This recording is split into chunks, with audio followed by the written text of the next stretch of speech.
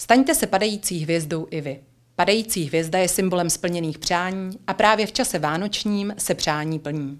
Padající vánoční hvězdou se můžete stát i vy, pokud se zapojíte do projektu spolku Kojito Ergo Sam. Ve Veselém bazárku jsme natáčeli někdy v létě a teď se nám blíží Vánoce a my jsme tu opět a to z toho důvodu, že máte novou akci. O jakou se jedná? Eh, naše nová akce je eh, Víš, co znamená, víš, co umí padající hvězda. Je to vymyšlený tím, že ta hvězdička udělá radost všem, který to potřebují, jako jsou děti, seniori. Představte nám tento projekt. Co vlastně padající hvězda symbolizuje? Eh, padající hvězda symbolizuje, že můžete udělat radost komukoliv chcete, ať je to dítě nebo senior. Takže nějakým dárkem, který my jsme to celý připravili pro konkrétní lidi, pro konkrétní děti.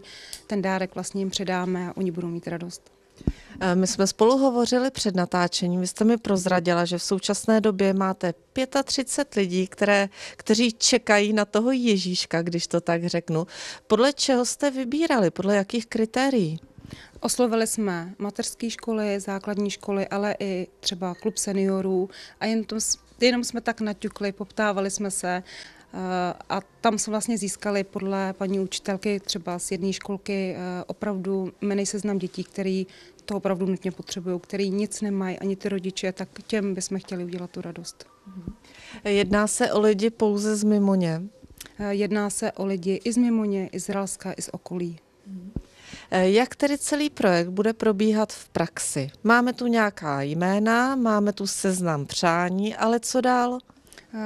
Ty dárečky si tady u nás eh, ve Veselém bazárku převezmeme od eh, těch eh, hodných, který nám to koupí a přidáme to buď tady, anebo to přidáme do jednotlivých třeba materských školek, kde si to přidá paní učitelka a u klubu seniorů tam si to zase předají na pravidelných zkuskách ty babičky mezi sebou.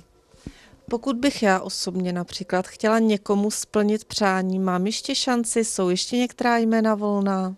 Určitě, tak na tohle si myslím, že vždycky se najde nějaké, nějaká osobka, která, eh, který ten dárek udělá radost, takže pokud budete chtít, není problém, ještě tam máme nějaký dětičky nebo i seniorky volný ty místečka a pokud ne, tak eh, určitě, když něco donesete, tak budeme vidět, koho obdarovat. Kdy vás tady ve Veselém bazárku najdeme, abychom si mohli právě některé, některé jsme najít nebo dárky předat? Jsme tady ve čtvrtek, jsme tady v pátek, ale není problém určitě zazvonit a dárek tady předat, po případě zatelefonovat a domluvíme se. Stejně tak jako Veselý bazárek má své logo, tak také tento projekt má originální logo. Jaké? Uh, originálním logem je tato hvězdička padající a Tyto hvězdičky nám uháčkovala paní Kateřina Honcová a touto cestou bych jí hrozně ráda poděkovala, stejně tak jako všem, kteří se na tom projektu podílí a i těm, kteří koupili ty dárky.